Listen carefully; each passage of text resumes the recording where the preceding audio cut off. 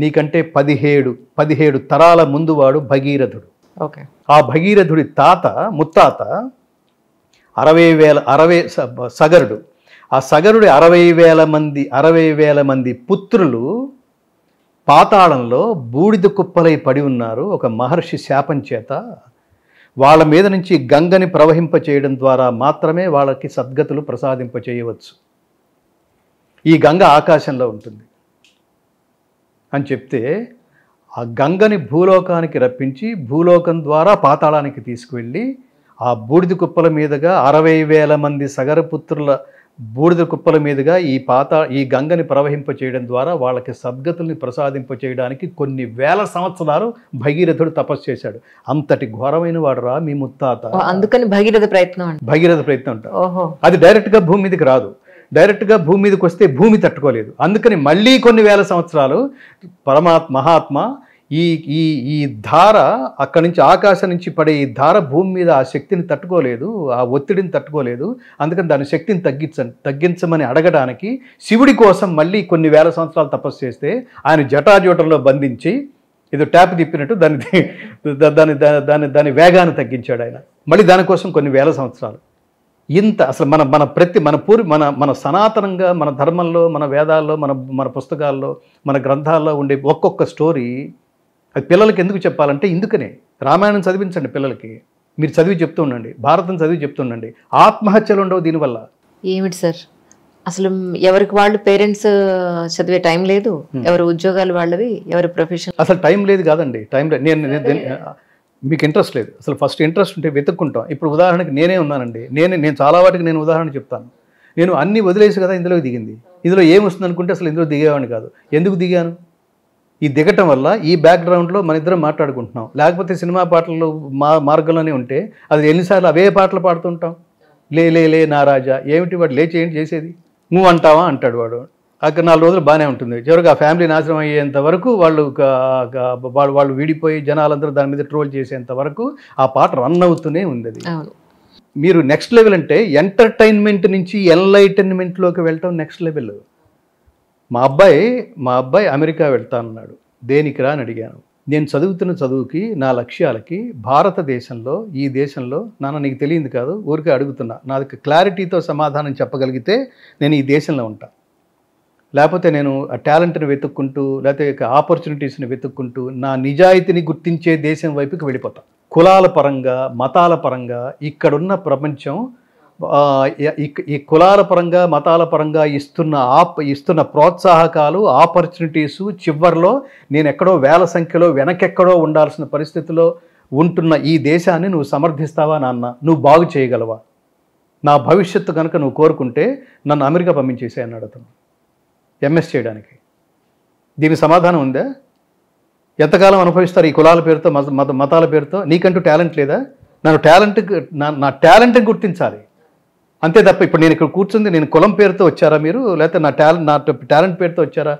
ప్రతి విషయంలోనూ ఇట్లాగే ఉండాలి కదా. ప్రతి విషయంలోనూ ఇట్లాగే ఉండాలి. ఒకవేళ ఆపర్చునిటీ లేకపోతే ఆపర్చునిటీ కల్పించాలి. వాడితో వాడిని ముందుకు తీసుకొచ్చేసినట్టు. ఆపర్చునిటీ ఇచ్చావు అంటే ముందుకు తీసుకొచ్చేసినట్టు. ఇంకా నెక్స్ట్ జనరేషన్ మళ్ళీ ఈ కులాలు మతాలు వెనకాల మళ్ళీ ఆ తోక పట్టుకుని వాడు నెక్స్ట్ జనరేషన్ వాడు కూడా అక్కడే నిలబడకూడదు. ఈ దుస్థితి ఏదో ఈ దేశం నుంచి వదిలిపోవాలి ఈ జాడ్యం మళ్ళీ ప్రైవేట్ కంపెనీస్లో లేవు. ఇతర దేశాల్లో ఈ దరిద్రాలు లేవు. నీ క్వాలిఫికేషన్ చూస్తాడు. క్వాలిఫికేషన్ చూస్తాడు. అవును. అందుకని మనకి ఇంగ్లీష్లో నోషన్ ఉంది. God gives you what you deserve not what you desire దేవుడు కోరికను బట్టేవాడు అర్హతను పట్టిస్తాడు. ఇది ప్రతివాడు ఇది మహద్వాక్యం ఇది గుర్తుపెట్టుకోండి. మీరు చేసే ప్రతి పని మీరు ఇచ్చే ప్రతి ఆపర్చునిటీ ఉపయోగించుకునే ప్రతి ఆపర్చునిటీ దాని ఫలితం దేశం భవిష్యత్తు మీద ఆధారపడి ఉంది ఈ ఇది కనుక బాధ్యతగా కనుక ఆలోచించకపోతే అసలు అన్ని అన్ని విషయాల్లోనూ నాకు నాకు నాకు పాతి మార్కులు వస్తే చాలు నేను ముందుంటాను అన్నాడు అనుకోండి. నాకు తొంభై తొమ్మిది మార్కులు వచ్చినా వెనుకున్నారు అనుకోండి. అసలు సమానత్వం ఎలా అవుతుంది ఇది? అందరూ సమానత్వం కోసం సాధిస్తామంటున్నారు కదా. అప్పుడు అలాంటి వాడు క్వాలిటేటివ్ ప్లేస్లో కనుక కూర్చుంటే ఏం క్వాలిటీ అందించగలడు? ఆ ట్వంటీ ఫైవ్ పర్సెంట్ క్వాలిటీని అందించగలడు. అప్పుడు దేశం ఏమవుతుందండి నేను దేశం గురించి మాట్లాడుతున్నా. దేవుడు కూడా తపస్సు చేసేవాడికి అనుగ్రహిస్తున్నాడు కదా. మీరేంటి ఇలా తగలడ్డారు? దేవుడు కూడా ఇక ఇట్లాంటి కేటగిరీస్లో పర్లేదు లేరా నీకు ఎర్లీగానే మోక్షం ఇచ్చేస్తాను అంటలేదు. అవును షార్ట్ కట్స్ ఏం లేవు కదా. అసలు నో షార్ట్ కట్స్ కరెక్ట్ అది. షార్ట్ కట్లో వెళ్ళావు అంటే నీకు టాలెంట్ లేదని అర్థం. నీకు లక్ష్యం లేదని అర్థం నీ మీద నీకు నమ్మకం లేదని అర్థం సమాజం మీద దేశం మీద నీ మీద నీ వ్యవస్థ మీద గౌరవం లేదని అర్థం. అసలు అది అది అది కాదు అంజలి గారు. అట్లా ఉంటే అసలు సమాజం కాదు అది.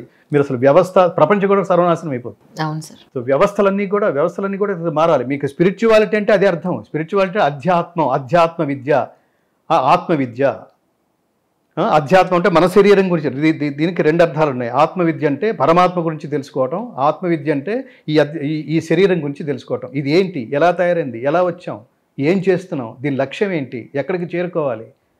చుట్టూ సమాజం ఏమిటి? నువ్వు చేసే ప్రతి పని సమాజం మీద రిఫ్లెక్ట్ అవుతుంది. సమాజంలోకి చేసే ప్రతి పని. నా ఇష్టం అనడానికి వీల్లేదు. మీరు కూడా మీ ఇష్టం వచ్చినట్టు ఒక చెత్త చెత్తగాళ్ళందరినీ ఇంటర్వ్యూ చేయడానికి వీల్లేదు. మన అక్కడెక్కడో ఏదో ఇంటర్వ్యూ చూశాను. ఈ మధ్య దొంగలు కూడా ఇంటర్వ్యూ చేస్తున్నారు. వాడు జైలు శిక్ష అనుభవించి అతి కిరాతకులు చదువు లేని వాళ్ళు జ్ఞానం లేని వాళ్ళు సంస్కారం లేని వాళ్ళు లక్ష్యం లేని వాళ్ళు సమాజం అంటే మర్యాద లేని వాళ్ళు భగవద్గీతలో కూడా దొంగ అనే పదం ఉంది. నువ్వు ఏ పని చేసినా నువ్వు ఏ పని చేసినా ఆ- ఆ- ఆ- ఆ పని ఎవరైతే ఇచ్చారో వాళ్ళకి కృతజ్ఞతలు చెప్పాలి. ఇది సంస్కారం. అలా చెప్పకుండా కనుక ఆ పని తాలూకు ఫలితాన్ని అనుభవించేస్తుంటే అలా అనుభవించేవాడిని దొంగ అని చెప్తుంది భగవద్గీత. అందుకని భోజనం చేసేటప్పుడు కూడా మనం బ్రహ్మార్పణం బ్రహ్మహవిహి బ్రహ్మాగ్నవు బ్రహ్మణాహుతం. బ్రహ్మైవ గంతవ్యం బ్రహ్మకర్మ సమాధినా ఆ.